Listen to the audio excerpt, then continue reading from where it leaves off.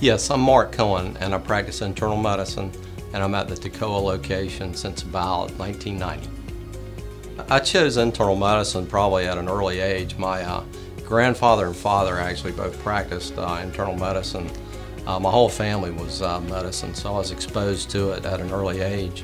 I probably chose when I was in second or third grade, and um, have enjoyed it, uh, enjoy the challenge. And it is a daily challenge, but uh, it's you grow, you grow with your practice, so it's, it's been a good ride.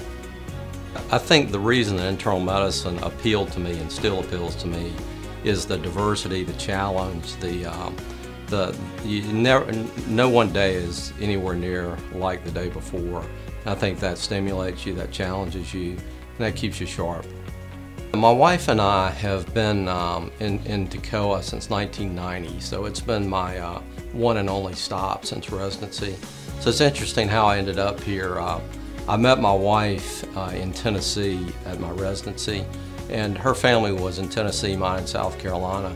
We took out a map and drew a uh, line between them, and uh, Toccoa was about halfway between them.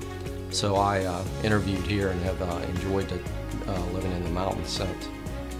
Yeah, you know, living in a rural area, a lot of my patients are my friends, and um, we we probably interact more. I've been to football games, uh, concerts with patients, and um, we um, we're big into uh, primary care health. We're big into exercise, and almost every day um, at the gym, I'm exercising with two or three of my patients. So I think we interact a little bit more, we try to keep them healthy. We try to uh, to uh, do what we're uh, telling them to do.